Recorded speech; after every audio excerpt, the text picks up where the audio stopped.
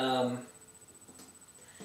sometimes my slides are a bit more like jigs than they're like slides, but the principles are all the same, so technically it shouldn't make a difference, right? Um,